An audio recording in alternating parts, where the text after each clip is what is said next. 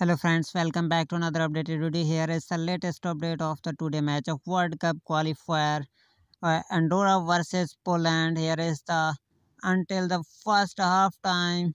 Yeah, Poland get the third goal at this time and Andorra have the one goal.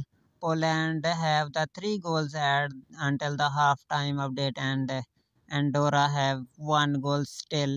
So guys, here is the latest update. Poland lead by two goals in the first half and uh, Andorra behind two goals from the Poland at this time. So please subscribe my channel for more latest videos.